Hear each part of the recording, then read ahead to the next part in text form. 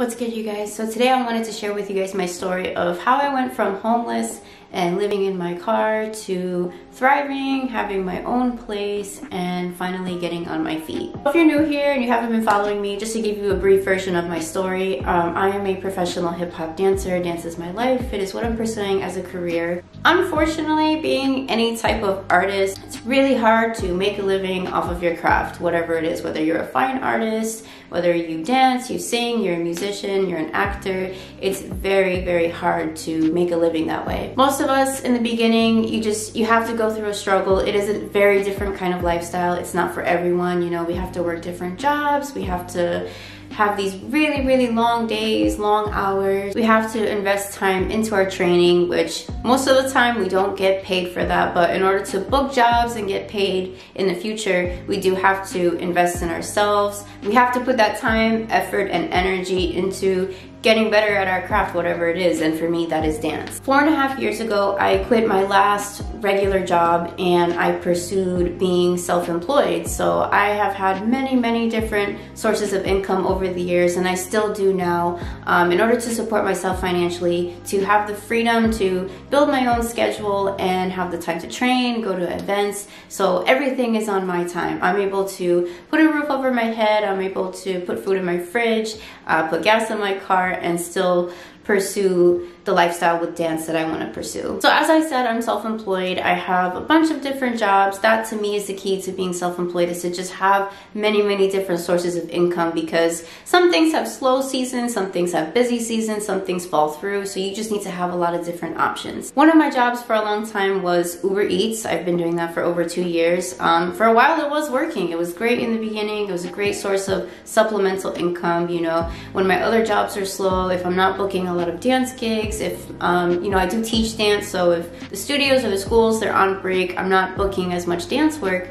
um, I had Uber Eats to fall back on to make that extra income that I needed. Recently, Uber in general did a huge pay cut, the biggest pay cut they've ever done. It just wasn't working for me anymore. It was getting to the point I was losing money. I was struggling really, really bad again. I almost contemplated going back and getting a regular job. I, I did not want to do that, but it was that bad. I was in that desperate of a situation that I, I needed to consider it. I was living in a very, very nice apartment building. Um, I was very happy with it, but unfortunately it just, based on my income Unfortunately, it was a little too much for me to afford. I just, I had to work a lot in order to live there. And, you know, it would be nice to have something like that in the future, but I had to sacrifice that in order to really pursue what I want to pursue, which is dance. So I gave that apartment up. I found a more affordable apartment, moved in, and right after I moved in, I find out the place is infested with roaches great, fabulous,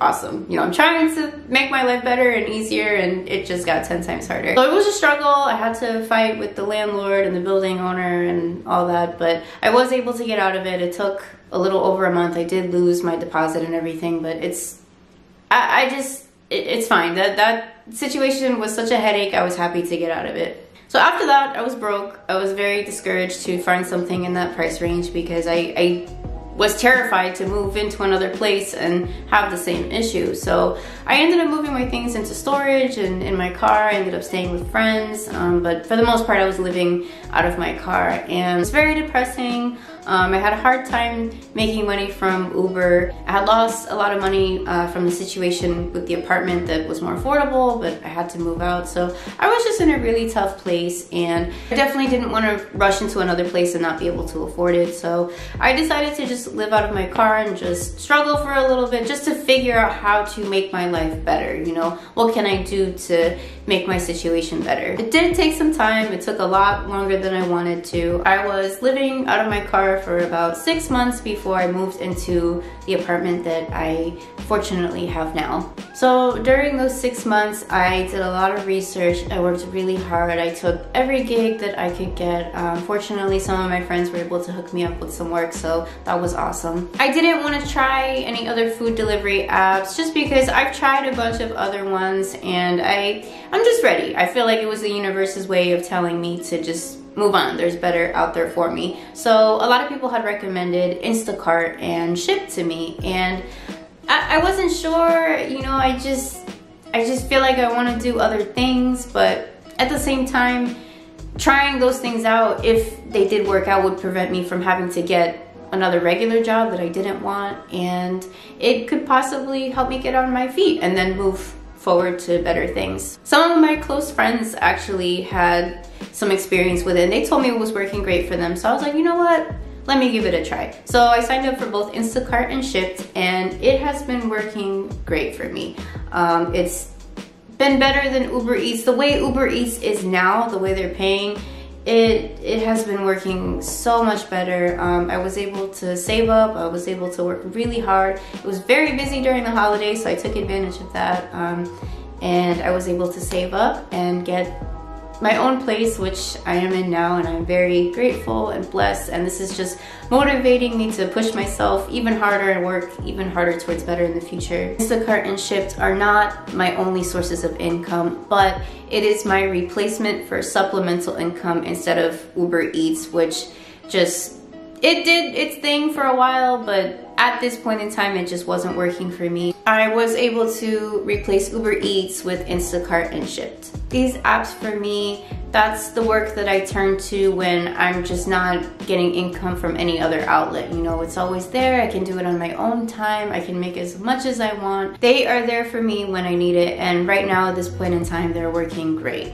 So by the end of December, I was able to save up a security deposit, first month's rent. Um, I was able to get my things out of storage and move in to this place that I have now. I was able to move into my own place. Um, it is more affordable than what I had before. Ever since I moved in, I've been a lot less stressed out. I have, you know, I have my own place. I have a roof over my head. I don't have to bother people to crash and stuff, to use their showers and all these things. I have a kitchen where I can cook my food. I have a place where I can film my videos and focus more on my channel. Um, it just, it's just good to have my own space again. And after going through that whole struggle period, I'm just really happy and I feel a little bit more at peace now.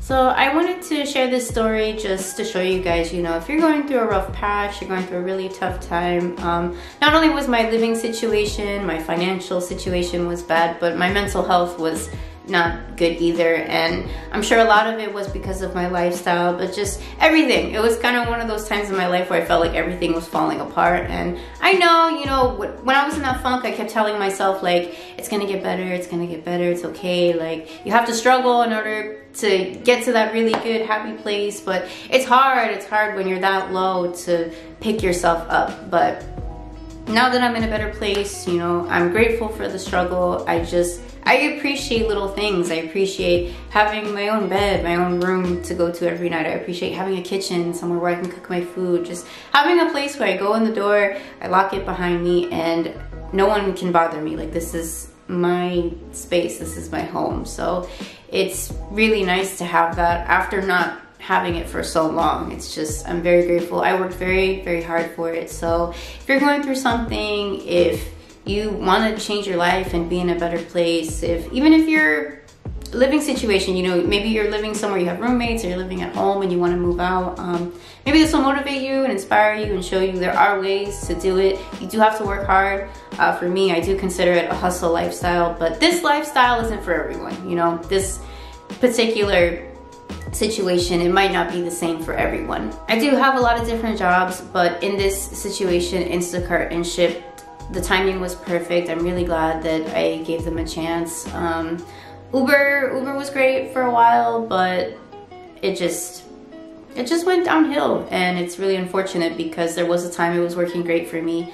Uh, so I'm just really grateful that Instacart and Shipt, they've been helping me out because if it weren't for them, I, I don't know. I probably would have had to go and get a regular job. I hope this inspires you guys and motivates you. You know, like I mentioned, if you're going through a tough time, I hope it gets better. Just work hard. Don't give up. Seriously, don't give up. Um, if you're feeling low, if you're feeling bad, like you can let yourself feel sad. You can just, if you need to be alone, just if you need to vent, like do whatever you need to do for yourself. Don't feel bad about it. Don't feel bad about crying or just whatever you have to do. Like if you need to hide from everyone, if you need to cancel plans, like that sometimes is what you need for you and that's okay.